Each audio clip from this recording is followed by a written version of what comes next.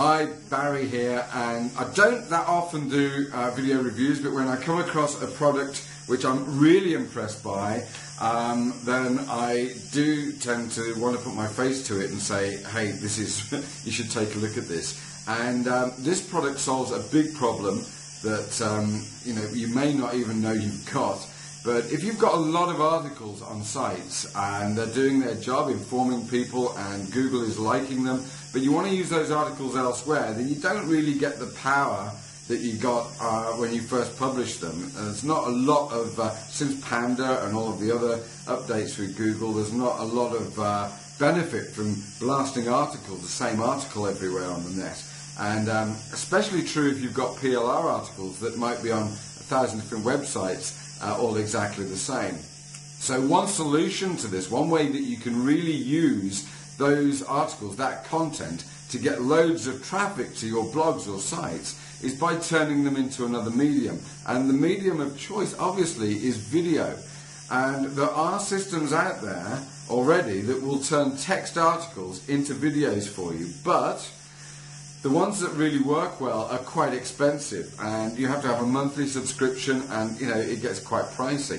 The ones that are cheap or free just don't work very well.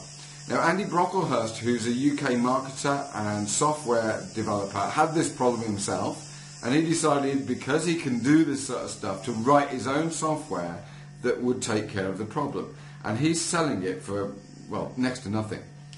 And the great thing is, it's the easiest system of making videos I've ever seen in my life. You, you, you simply copy your article, paste it in, a couple of clicks, and you've got a video with a royalty-free music soundtrack automatically added on the back of it. Now, if that's not cool, I don't know what is. You could make tons of these videos. I'm not going to try and describe it to you how easy it is. I'm going to let Andy show you. So let's just have a look at Andy giving you a demonstration of how you would make a video. So have a look at this. Video converter and very simple program. It lets you drop in any uh, text article. So in this case, I've just picked a uh, private label rights text article and dropped it in, copy and paste, as easy as that. You can set the uh, font that the video will use. And in this case uh, I'm going to leave it pretty much on the default. We will make it bold. And this is the size that it's going to start at. And by that I mean if it's got a paragraph that will fit on screen at that size it will use that size. If you're asking it to squeeze a bigger paragraph into the space then it will reduce it down so that it always fits on screen uh, let's set the colour to maroon and say OK. Here you've always got a preview of what uh, the background and text is going to look like in the finished video. If I set the background colour, so now we've got yellow background, maroon writing, Tahoma font, bold, starting at 30 point, uh, point font, and then it will scale down if it needs to. We can dictate the speed of the video and the best way to get used to these is just to try them out. Uh, normal is what I would say is the speed I generally use. Sometimes I do them a little bit fast. If you're doing articles that are that have long paragraphs, so it's going to be squeezing more text onto a screen, you may want to slow it down a little bit. It's highly unlikely that you would make a video using the extremes that are available here but we give you a full range of speed. Let's make this one run fast. This is the output folder where it's going to put the AVI file and this is the name of the file that we've asked it to create. You can optionally compress the video. If you do that, uh, when we run this in a moment, you'll see it pops up a box asking us what codec we want to use. Uh, I normally just compress them using the Microsoft codec. It reduces the size dramatically without too much uh, quality loss. Makes it a little bit faster for uploading to YouTube. And then you can specify an audio folder. I've already got mine in here. And that is a folder that contains WAV files and it will pick a WAV file from that folder at random and use that as the background music for this article If you want to force it to use a specific WAV file, then just point it to a folder that only has one WAV file in it. Then it can only pick that one. And if you uh, pick a WAV file that is longer than the video, it just cuts it off. If you pick one that's shorter, it doesn't loop it, so you need to bear that in mind. Okay, we're going to click the next button, and now it's already created the frames, it's already created the video, it does it all very quickly.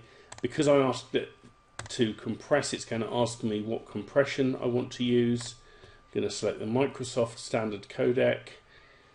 Now it's processing the audio files. So it's picking a WAV file and applying it, and now it's finished, and we get this message. Tells us where it is. I can just click the open location button, and that will open up the place where it's created the file. So if I now play this video,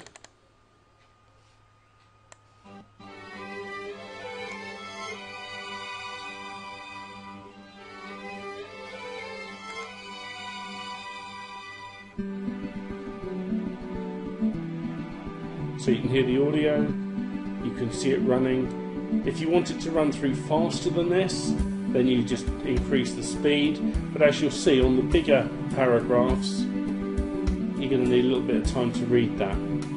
My personal preference is to briefly edit the article once I've pulled it in and make the uh, whole thing shorter. I'm going to stop that now.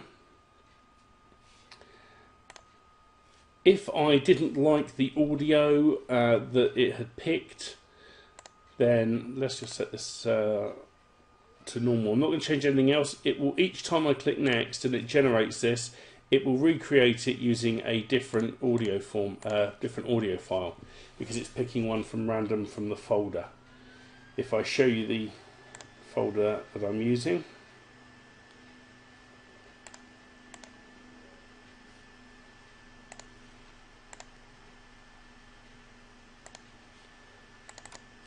And here you'll see lots of WAV files in there already and all of the ones that, you, that I have here are supplied with the software uh, these are all royalty free WAV files and so you are legally entitled to use them on as many videos as you see fit. and if we now run that again, pull up that video, we should find it's picked a different audio now.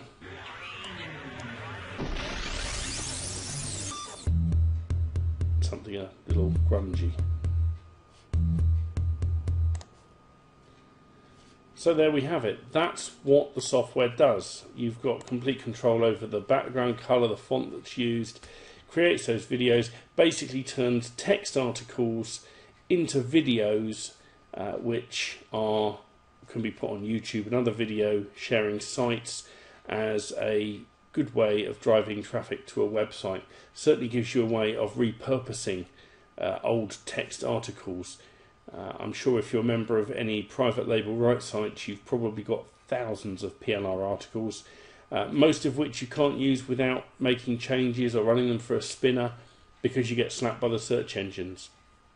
When you do it as a video, the uh, only thing that search engine is picking up is description that you write. So as long as you make that paragraph unique, when you upload your video, uh, you know, the thing's going to get found. So, that is article to video converter.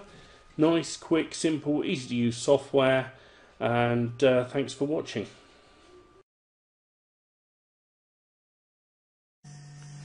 Now you've got to admit that is pretty cool, right? Um, you can make like 30 videos in a morning using this. You know, if you've got like I have hundreds of PLR, thousands of PLR articles on my hard drive, you know, all of a sudden they're useful again. All of a sudden you don't need to throw them away. You just need to break them down into smaller paragraphs and bang, you've got a video that you can put on YouTube. You can optimize that video for the search engines with your own description, your own keywords, and bang, you're getting traffic from that video to wherever you want it to go. So that is powerful. And, you know, for less than 10 bucks. Anyway, you click anywhere on this screen, on this video, click anywhere on the video, and you get taken directly to the sales show where you can learn more about this product. And you will be amazed at how cheap it is and how well it works. And you look at the reviews as well while you're there of the people that actually grab hold of it. Okay, so that's me signing off. I hope you find this useful. I hope you get a lot, a lot of use from it because I know I'm going to. Okay, bye for now.